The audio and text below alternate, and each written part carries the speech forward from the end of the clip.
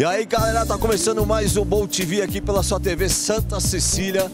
Olha, uma feira aqui em São Paulo maravilhosa. Esse aqui é o, o começo da indústria náutica do Brasil. Nós vamos mostrar para vocês agora as coisas mais atuais do mercado: eletrônicos, acessórios e embarcações, uma mais linda que a outra. Bem-vindos ao Bolt TV.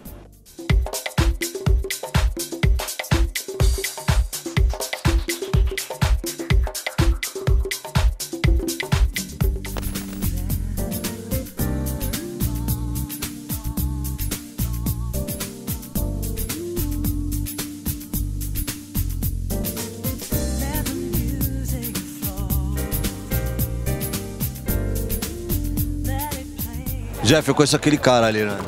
Aquele cara é o maior vendedor de óculos que eu conheço aí. Mais que ele não, vem cá, vem cá. Esse aqui tá ajudando ou tá atrapalhando? Esse aqui é o maior cobrador de óculos que eu conheço. Ah, ele é cobrador? Ele é o cobrador, é o nosso caixa forte aqui, ó.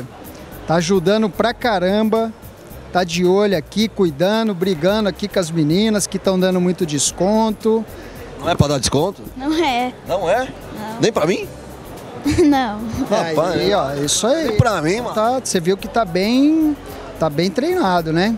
Jeff, quantos anos já de JF De JF Sam vai pro vigésimo ano. Que isso, cara, já? Vigésimo ano. Nesse evento aqui, se eu não me engano, tá ou é 18 oitava, 19 se não for isso, tá por aí. Eu tô perguntando pros, pros meus amigos o que, que eles estão achando do pavilhão em si, né? O, o acesso é até melhor para quem vem de Santos, mas em si acho que tem mais estrutura também. Ah, aqui melhorou tudo, né? Melhorou, tem espaço para crescer, ah, o pavilhão novo, tá, cara, tá show de bola. aí. E qual que é a novidade da JF Sun? Eu, eu sou o garoto propaganda aqui da JF Sun, né? Sou fã dos polarizados, né? Ô Deta, eu quero te agradecer, cara. Quero te agradecer. Você, assim, é um cara que. É, pô, você fez um negócio aqui que. Sabe quando você ajuda alguém e, e parece que torce para aquilo? Você não, não quer, ah, tem minha imagem, não. Cara, é, isso eu acho que soma. Nossa empresa, eu vejo que ela tem esse, esse perfil, entendeu? Não é para ser um mega negócio, é um negócio legal, é um negócio bacana, que as pessoas que estão trabalhando aqui curtem, curtem o que estão fazendo.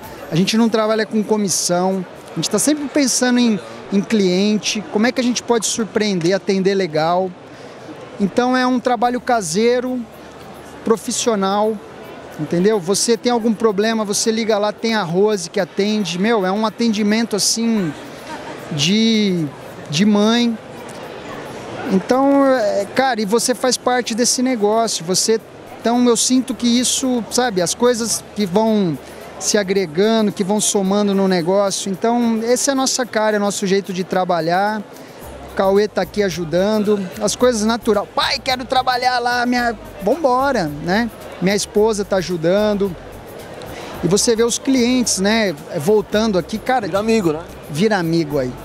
Vira amigo. Eu tô com a minha carteira aqui que tá um. De cada detalhezinho, pô, aquele cliente quer aquela lente, ele quer não sei o quê. Então a gente assim, eu assumi minha profissão, né, recentemente, que eu sou feirante. É referente, né? Sou feirante, cara. Fechamos as lojas para poder cuidar disso aqui melhor. E tá super legal. Esse ano a gente trouxe uma, uma novidade, assim, na verdade já tinha, mas a gente assim olhou com muito mais, mais carinho, que são os flutuadores. Ele cai no mar, cai do jet ski, dá uma vacilada, mergulha lá. Eu não deveria vender isso aqui porque, entendeu? A pessoa vem e pede de brinde, eu falei, não, eu tenho que, cara, isso aí tem que ser muito mais caro. Quero que você perca o óculos na água para comprar outro. É, entendeu? Mas não é, para pensar em, em, em como que a gente pode, pode é, fazer parte de um passeio legal, entendeu? Você imagina um cara que usa óculos de grau, perde o óculos, estragou o dia dele, estragou o passeio, entendeu? Você tá num baita de um sol, você perde teu óculos de sol. Não é porque custa caro, que também é, né? Porque as pessoas aqui, né, principalmente nesse evento, eles é, têm, têm condições de ter os melhores óculos do mundo, né? E a gente faz parte disso também porque eles usam o nosso óculos, botam o nosso óculos para ralar. A gente eu acho que tem tudo a ver com esse evento. entendeu? Eu tô lá, eu vou para os Estados Unidos, a gente se encontrou lá, né, em Miami, que foi super legal. A gente vai lá para pensar nisso, que que a gente pode Tendência, escolher modelo. modelo, sempre pensando em conforto. A pessoa tá lá, tá navegando, tá no jet e tá, sabe, esquecer que tá usando óculos. Cara, muito bom revê-lo. Manda um beijão pra sua mãe, você sabe que eu sou fã da família toda. Torço muito por vocês, cara, de coração. Ó, Dê, tá pra você, cara, te desejo todo o sucesso do mundo, que Deus te abençoe, você, tua equipe, A nós. tá? Valeu mais uma vez aí, viu, cara? De coração. Deus, Deus lhe pague, viu? Legal, legal. Vamos ver a feira aqui, tô felizão também, cara.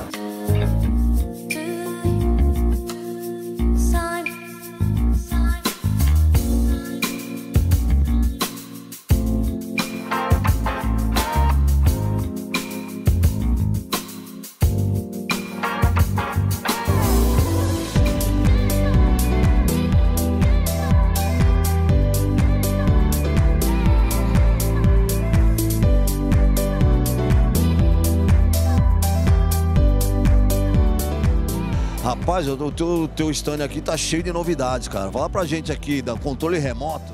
É, nós trouxemos aí as, as inovações tecnológicas que estão no mercado americano já há algum tempo. né? São mais de 10 mil embarcações já usando essa tecnologia nos Estados Unidos. Então nós trouxemos com exclusividade para lançar aqui no mercado nacional com grande sucesso. Estamos tendo aí. Qual que é, qual que é a novidade? O cara, ele, sozinho, ele pode atracar a embarcação, desatracar? É, na verdade, é, a 300 metros eu posso acionar minha embarcação, trazer, fazer toda a movimentação dela e trazer para o pier para o pessoal embarcar e depois sair. Além disso, eu estou chegando a marina lotada, né, com marola, Com vento. com vento, um montão de embarcação chegando ao mesmo tempo. Eu posso ir lá na proa e levar minha embarcação, a minha vaga, com toda tranquilidade na ponta do dedo. E qual que é o custo disso aí? Só pra ter uma ideia, depende do tamanho da embarcação. Sim, depende do tamanho da embarcação, porque na verdade o controle remoto está acionando os motores, então tenho os chips dos motores, do fabricante dos motores, estou acionando os thrusters, no caso se for pé de galinha ou rabeta também, então tenho o controle, inclusive guincho. Então eu tenho o controle completo da embarcação naquele momento no controle remoto. O cara pode monitorar a embarcação por um celular, por exemplo. E ele pode também receber toda a informação que ocorre com o patrimônio dele que está lá na marina e ele está aqui. Então ele vai ficar sabendo se, se por acaso uma bomba de porão falhou, está entrando água, se a bateria está fraca, se teve alguém que entrou na embarcação, que hora que entrou, se tiraram o jet ski da embarcação, se ligaram o motor. Então eu fico sabendo tudo que está acontecendo. Se largaram uma guaíta aberta, eu fico- vou ficar sabendo no meu celular. Então eu tenho o controle total do meu patrimônio, que está muitas vezes fora da vista, mas sob o controle. Aí eu vi que você tem baltruster também. Isso é- isso dá pra instalar em qualquer embarcação?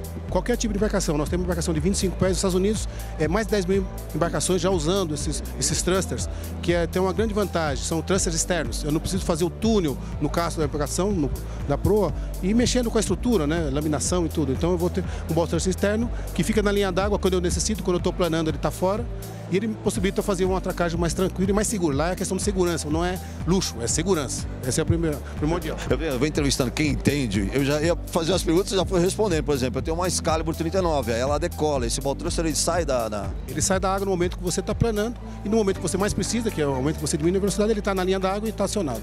Qual o custo disso aí, mais ou menos? Pode falar. Depende também do tamanho da embarcação, varia de 40, 30, 40, 50, 60 mil, depende do, do porte. Varia de 30, embarcações de 30 pés até 100 pés. Então tem vários sabores aí. Vários sabores. E esses stand-ups aqui, cara? É, o stand-by, na verdade, nós estamos produzindo embarcações com a nossa CNC, uma CNC de 8 metros, então nós estamos produzindo embarcações. No próximo ano eu quero ter novidades aqui na feira.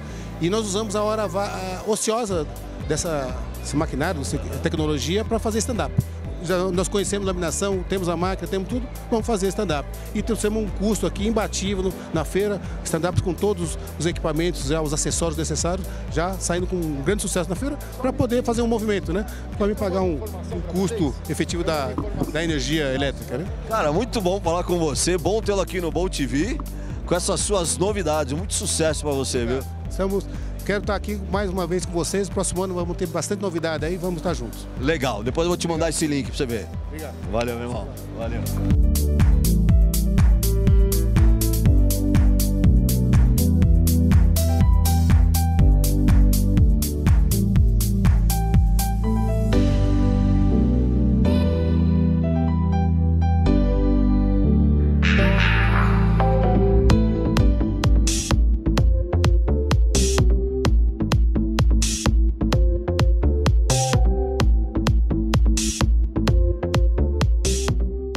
Programa Boat TV continua aqui em São Paulo, Boat Show no Pavilhão Imigrantes. Uma sede muito mais legal. Parabéns ao Hernani e à revista Náutica, porque a sede está bem mais localizada.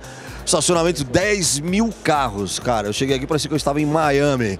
Marcos Zenas da NX Boats. Adoro esse barquinho, você sabe, sou suspeito, né? É show de bola, dá para ver que primeiramente aí, dando um olá para todos vocês, é um barco que ele mudou um pouco do conceito do que estava acontecendo no mercado a respeito de espaço, design. A gente conseguiu fazer um produto bem diferente tanto em questão de praticidade, navegabilidade e em questão assim, de construção, pode-se dizer que hoje nós somos um dos mais novos contemporâneos dentro disso, né? É verdade que esse barquinho foi in, in, inspirado na R8? Sim, é, a, primeiramente a gente queria um design diferenciado. E como fazer isso que ele tivesse uma identidade? Quem que não gosta de um, automóvel super esportivo, né? Então a gente pensando, idealizando algumas coisas, a gente veio na cabeça, por que não usar uma lateral de um carro característica que chama atenção por uma entrada de ar. Todos os barcos têm essa entrada de ar. Foi quando começou a inspiração no desenho do Audi R8. Então hoje, ainda hoje, desde o lançamento, as pessoas quando olham ainda citam essa questão, né? Pô, mas parece um Audi, fica uma coisa bem bacana. Não, mas o barco é todo bem resolvido. O painel, a, a praça, a plataforma de pôr. Sim, é, o, é, em, em, detrimento do design, que lógico que o design hoje em dia é importante, o que a gente procurou foram soluções que antigamente só eram aplicáveis em barcos de maior esporte. Então, assim, o cliente que queria um acabamento premium, queria um, é, detalhes, tonalidades, ou seja, soluções de distribuição de espaço aliado à beleza, teriam que estar optando por barcos acima de 40. Nós conseguimos trazer isso para dentro de barcos mais compactos. Então, desde o nosso barco menor, que seria a 25, até o barco a 28 e futuramente a 38, a gente prima por essa questão, oferecer um design premium, objetivo e prático que ele visa não só a questão do atrativo, do bem-estar a bordo, mas da funcionabilidade. Não é só estética, está tudo em harmonia. É, a, a 38, vem quando? É, nós estamos já desenvolvendo um barco que nós tínhamos essa necessidade. Os nossos barcos eles partem de 25 pés aberta, uma open de uma 27 e que da 28 que é essa que nós estamos, cabe nada. Só que é, em virtude de toda a nossa linha, nossos clientes que se fidelizaram, eles estão querendo algo maior. Então o que a gente procurou fazer? Criar uma 38 hardtop. Ela é uma NX 380. Hoje ela, ela tem um nome, ela se chama Horizon. E assim, é um barco que também vai apresentar um conceito muito à frente do que tem no mercado hoje na sua categoria. E provavelmente, a gente não, há, a gente não trabalha com achismo, mas provavelmente esse barco ele já estará é, nas águas por volta de março. Já temos quatro unidades vendidas. Então, assim, já nasceu já com uma maturidade já de comercial, vamos colocar assim, clientes nossos e que estão vindo de outros estaleiros. Marcão, a 28 gira em que, to... em que preço e a 38? É, a 28, é o, ela está a partir de 275 mil. É um barco para 11 pessoas durante o dia, 4 pessoas à noite. Ela tem uma motorização, a gente está falando de, uma, de um 6.2 com 300 HPs, ela está partindo de 275, 275 mil. A 38, nós já, nós já temos uma política de preço praticável. Ela está tá começando a partir de 650, mas assim, a gente prefere estar mais próximo do lançamento para poder criar uma tabela efetiva para estar tá passando para o público. Vai passar por alguns aprimoramentos, isso pode acabar interferindo. Qualquer coisa que eu falar agora pode ser precipitada, né? Teremos maquete da 38? Com certeza. Eu espero que nós tenhamos ela em espécie, mas conforme for, a gente vai para uma maquete. A gente vai. Lógico que aqui seria uma coisa suspeita em dizer, né? Já até sei quem vai ser a indicação para fazer a maquete. Mas nós possivelmente vamos ter, com calma agora, né? Talvez para um próximo evento, para o Rio Boat Show. Zenas, bom tê-lo aqui no Boat TV, Obrigado, cara. Sucesso. Olha, eu passei aqui no stand umas três, quatro vezes, ele estava trabalhando, tava, agora tava. ele conseguiu dar cinco minutos de atenção pro pobre aqui. Não, pobre não, é aquela questão, quem olha assim, eu estava tentando encontrar quem me maquiasse, eu tô tão destruído, mas já que não foi, Ele me pegou de surpresa, Foi foi por feio, vai eu e tu ao mesmo tempo. em dose dupla. Vamos ver a feira, valeu. Valeu, pessoal.